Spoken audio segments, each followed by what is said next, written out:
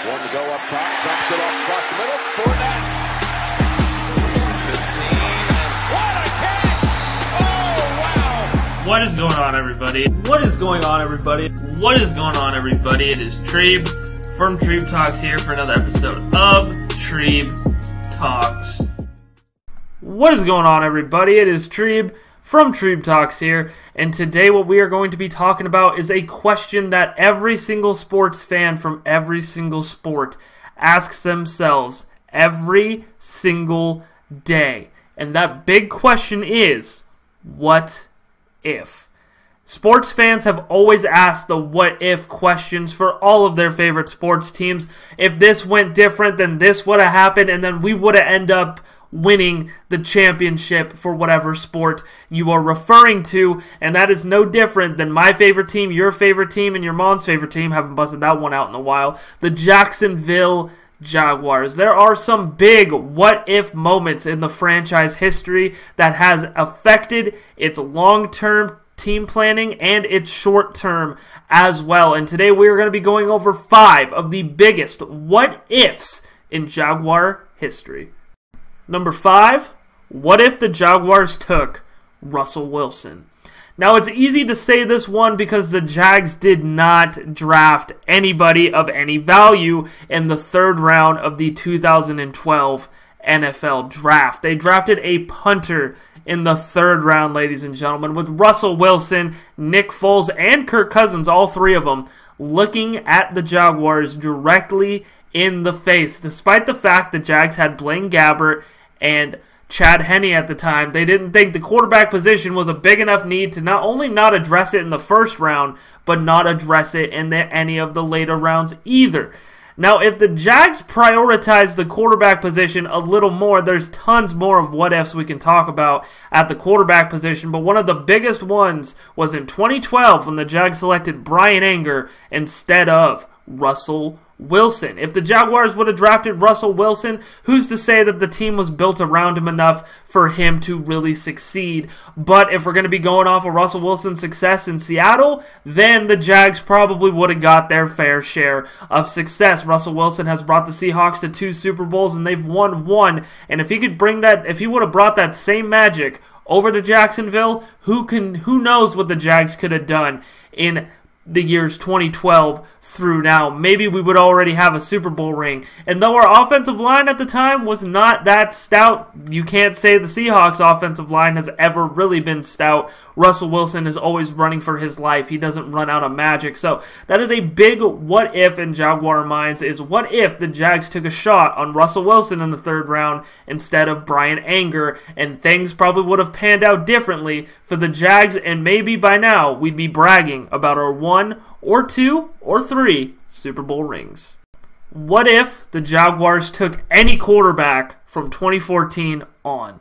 The Jags drafted Blake Bortles in the 2014 NFL draft, and oddly enough, he was probably the most successful quarterback of his draft class. But if we were to give up on the Blake Bortles experiment just a tad bit earlier, there were some other quarterbacks who are now taking over franchises and taking over the NFL as a whole that the Jags could have had at the quarterback position. You got guys like Deshaun Watson. When Watson came out in the NFL draft, I really thought it was a realistic possibility that the Jags were going to try and snatch him up to be the quarterback of the future if the Blake Bortles project does not pan out. The Jags did not do that. And then the year prior, Patrick Mahomes. Patrick Mahomes was on the board as well. The Jags decided to pass him up. You also have guys that went a little higher, and probably two guys that really can't, the Jags couldn't control it Jared Goff Carson Wentz, etc. And they basically pulled the same situation they pulled with Blaine Gabbert and Chad Henne in 2012. They were just so confident in Blake Bortles' abilities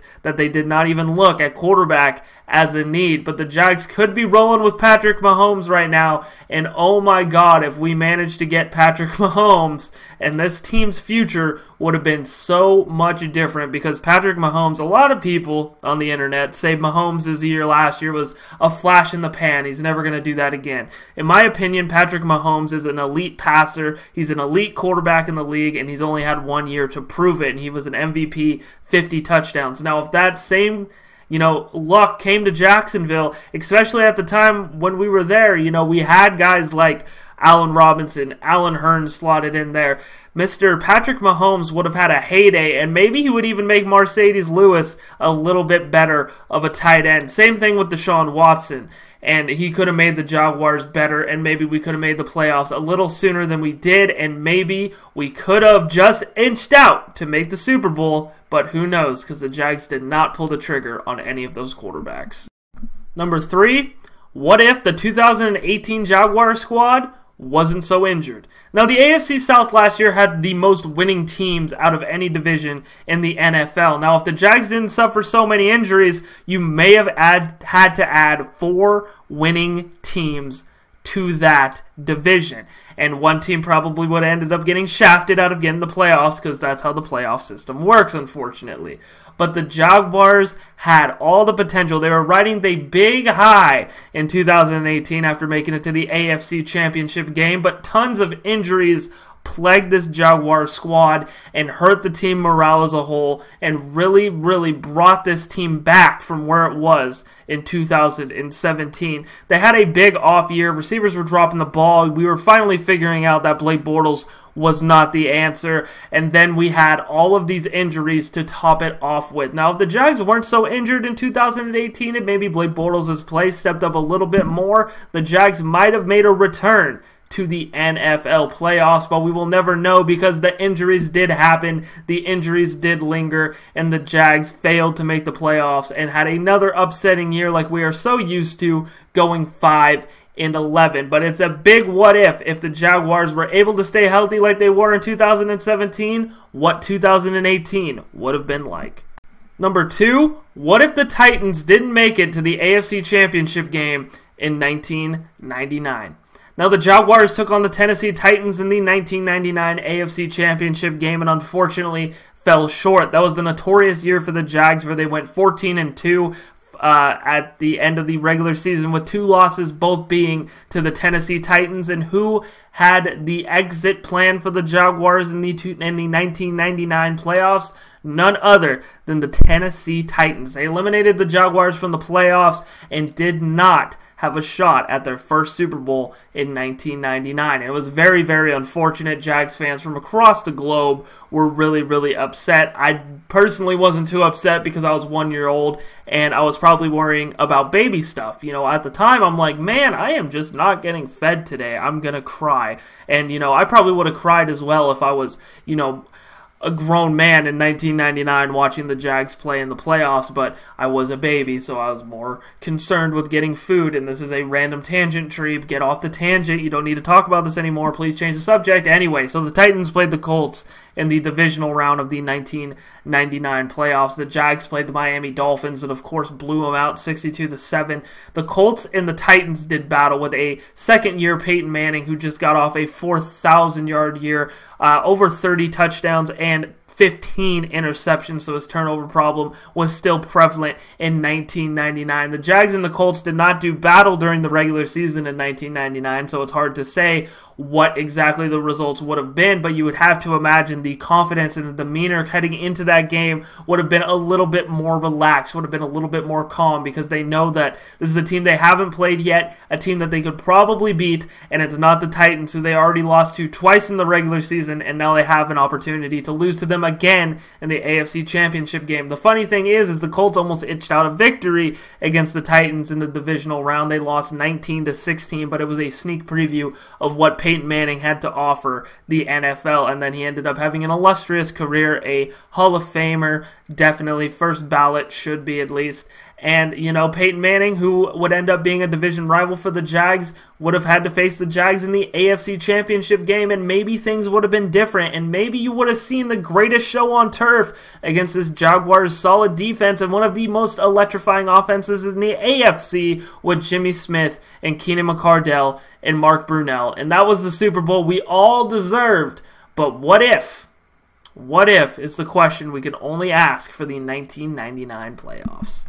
And number one, what if Myles Jack actually wasn't down? Now, this still hurts to this day in 2017, especially for young Jags fans like myself that didn't really get to experience the high of the 1999 AFC Championship season. As a Jags fan, I have only watched the Jags play a couple of playoff games, a couple of Monday night games, no Sunday night games, and of course multiple Thursday night games against the Tennessee Titans. Hashtag Tuck the Fightins. Flood the comment section with hashtag Tuck the Fightins. But of course, the most iconic moment, one of them in Jaguar history, was when Myles Jack was ruled down when he stripped uh, De- was it Dion Lewis? It was either Dion Lewis or James White. When he stripped Dion Lewis or James White of the ball, he wasn't touched. He was going to go into the end zone untouched. The Jags were going to be taking a big lead, and that might have been the dagger in the New England Patriots.